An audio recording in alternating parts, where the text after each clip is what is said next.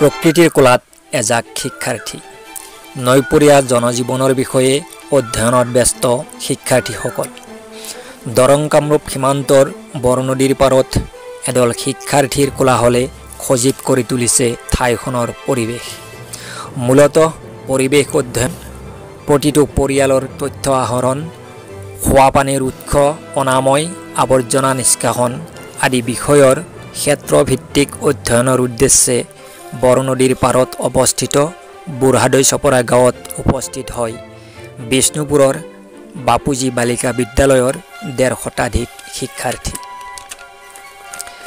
বিদ্যালয়খনৰ ইক' ক্লাবে আয়োজন কৰা প্ৰকৃতি শিবিৰৰ অংশ হিচাপে বৰনৈপৰীয়া জৈৱ বৈচিত্ৰ্যৰ অধ্যয়ন কৰে শিক্ষাৰ্থীসকলে। বিজ্ঞান শিক্ষক হিৰণ্য কুমাৰ নাথৰ তত্বাৱধানত খেলৰ মাজেৰে পৰিৱেশমূলক শিক্ষা প্ৰদান কৰা হয় শিক্ষাৰ্থীসকলক। শ্ৰেণীকোঠাৰ গতানুগতিক শিক্ষাৰ পৰা আঁতৰি আহি নৈপৰীয়া গাঁৱত চাক্ষুষ অভিজ্ঞতাৰে প্ৰকৃতিৰ শিক্ষা লৈ উৎফুল্লিত হৈ পৰে শিক্ষাৰ্থীসকল।